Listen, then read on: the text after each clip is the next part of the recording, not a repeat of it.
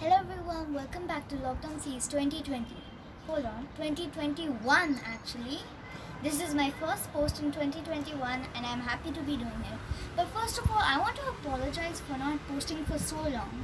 You see, the corona has become so severe and the lockdown so boring that I have not been able to find any interesting topics for you guys due to not being able to travel much. So I so I decided to do flashcards. You see, I have been gifted a few flashcards from one of my aunts. So today I'm going to be reading to you one of my favorites. But first, can we please admire this funny illustration of the guy's cheek floating to the size of an elephant's butt? Alright, now let's read it. Oh, and also, these are in Hindi. Keep that in mind. दीदी मुझे गुस्सा मत दिला क्या कर लोगे मैं तुझे चूया बना दूँ मैं तेरे किताबों को कुतर डालूँगी। मैं तुझे मधुमक्खी बना दूँगा। मैं तेरे गाल को गोलगप्पे बना दूँगी।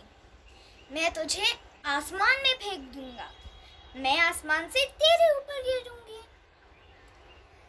मैं घर में घुस जाऊँगा। डरपोक कहीं का।